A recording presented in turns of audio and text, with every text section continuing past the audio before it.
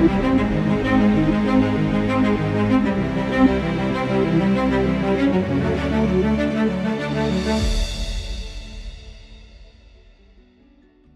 everyone, I'm Jen, a science educator at The Most. Here in Central New York, students and teachers alike love a good snow day. One of the biggest factors for a day off from school is lake effect snow.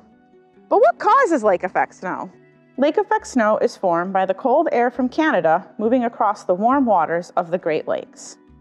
When that colder air meets the warmer air from the water, it forms a cloud.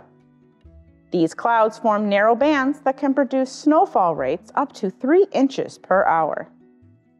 Due to the size and depths of the lakes, the air over them remains warm for long periods of time, causing prolonged lake effect snowfalls.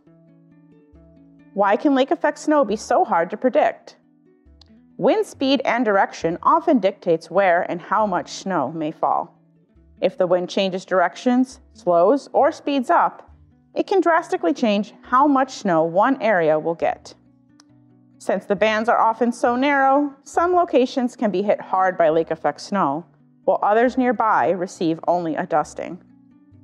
One of the largest lake effect snow events in New York occurred in February of 2007 in the Tug Hill area, where 141 inches of snow fell over a multi day period.